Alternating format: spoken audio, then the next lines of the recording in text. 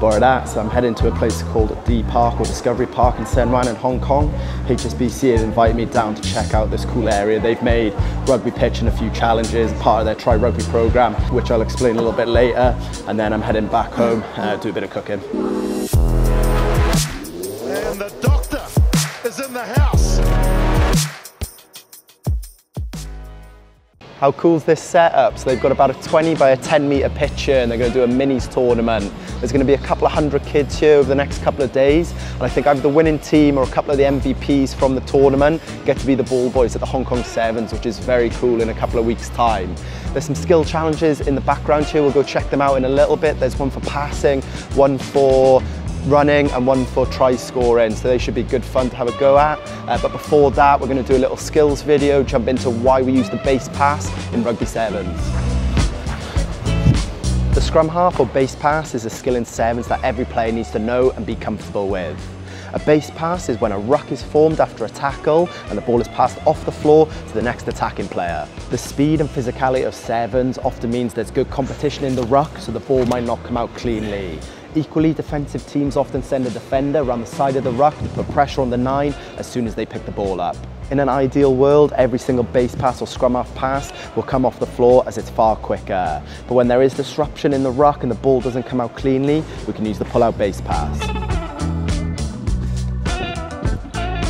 So the first key to this technique is our footwork. If someone's made a break and we're herring after them, we need to chop our feet so we're not flying into the ruck or slipping over ourselves. So as we get closer, we want to chop our feet.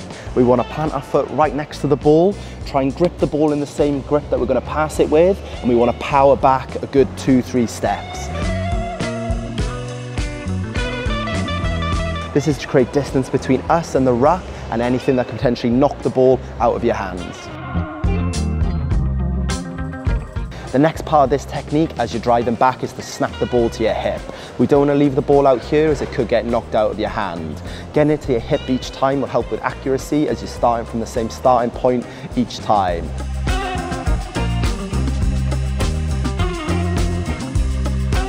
Also from this point, you can see what the defenders are doing. If the option changes from passing, you can still run with the ball or kick it if needed. So at the moment, as we're driving back, snapping the ball to our hip, all of our momentum is going backwards. If we keep letting momentum go backwards, it's going to be very hard to stop us passing the ball straight into the air over the receiver's head. So anytime we're driving backwards, you need to really fight to keep your chest down over the ball, ready for the pass.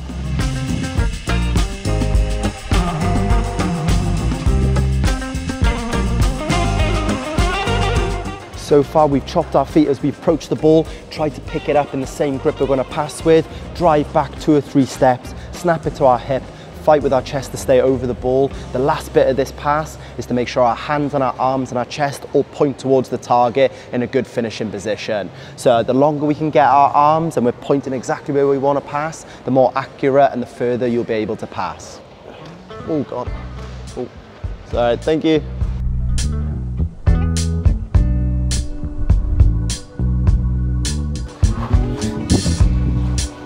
In sevens, we want to always follow our pass so we can be there for an offload to clean a ruck out or to celebrate with our teammates if we score a try. If you have any comments about the pull-out base pass technique, drop them in the comments below and I'll get back to you. We're now going to go check out some more of this Try Rugby program.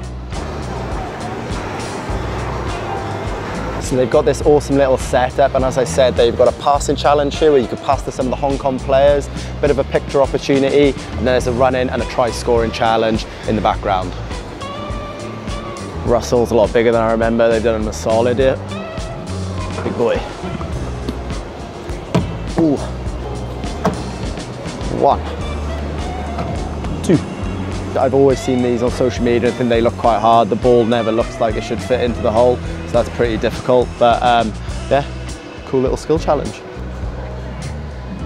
Oh, straight in. Moving on to the next game slash challenge for the kids. So they've got these two runways so you can compete against your mate, some hurdles to run over. I think they've got to go round the player at the end and then back to score a try. Fastest time wins. You can check it up on this board here. So the last one is this try scoring grid. Uh, You have one player either side of the big rugby ball, they're attached to a bungee, and the different squares that are on the floor correspond to different points. Uh, you have to try and run out, put the ball down, run back, touch another square. They were telling me they were thinking of bringing this to HSBC booth at the Sevens, uh, but they weren't sure adults after two days in the South Stand would be particularly safe with a bungee wrapped around them, which I think is a good shout from them. And that's pretty much the setup here at the Try Rugby program here in Tsuen Wan in Hong Kong.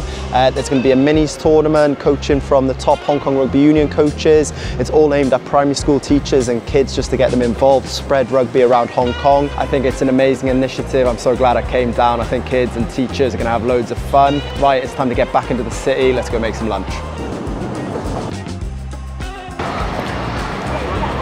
Hong Kong really comes alive at lunchtime and there's all these little markets where you go to get some fresh produce all the way from veg to meat as well so just heading over to one of these now.